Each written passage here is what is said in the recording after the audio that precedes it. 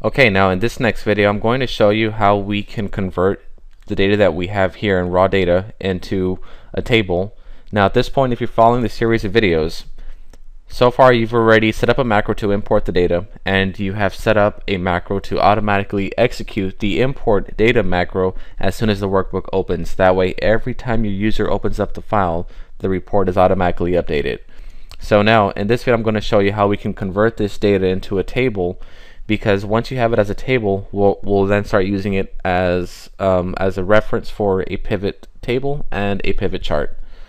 So there's a couple ways to go about doing this. The way I'm going to do it, I have my raw data tab selected. I'm going to go on and select A1 and I'm just going to do format as table. This is in my home tab, format as table, and I'm just going to go on and select, you know, you pick your color option. I'm going to select this one and it's going to say my table has headers. It's giving you the range. I want to select OK. So I want to make sure my macro is going to work because this does change. This does change a few things here. But table name, I'm going to call this school data. I'm working with a gazetteer file from the census website. Now I'm going to clear this out. But before I do so, let me just try running the macro. Import data, run and you want to make sure that nothing has changed. And if you notice as when I ran my macro it's no longer a table. I don't have a table tool tab up here whereas right now when I had formatted it it was a table.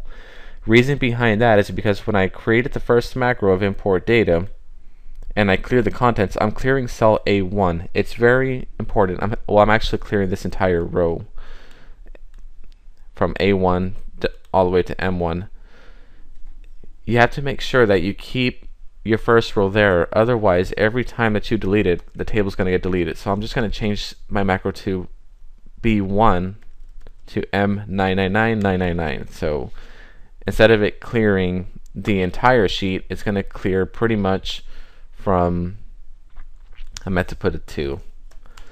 It's going to clear everything from A2 to M2 down.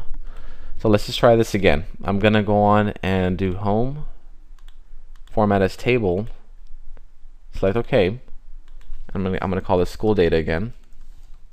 And let's try running that macro again.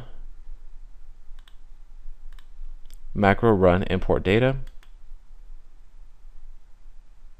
And there you still have it. You still have this table tools option that's on the top. So go to table tools. It's still considered school data. So if I was to clear it out, but remember don't remove row 1, just going to clear the contents from row 2 going down, and I'm going to run my macro again. Alright, it's still set up. So again, this is very important because we we want to keep this as a table because this table is going to be our reference when creating a, um, a pivot table. And I'll give you a real quick example on that pivot. So when I, we do a pivot table,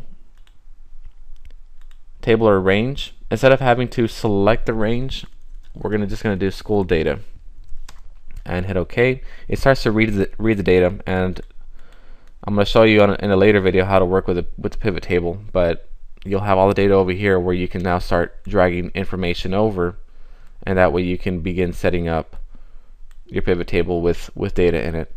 And again, this video does is not going to cover how to create the pivot table. This is only showing you the reason why we want to create this as a table, convert it to a table, and then still make sure our macro works. So I hope to see you in the next video, guys. Thank you for watching.